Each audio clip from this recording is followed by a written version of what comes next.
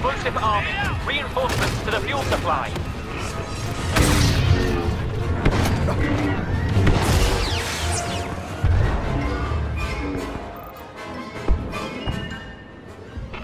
We underestimated the size of their attack force.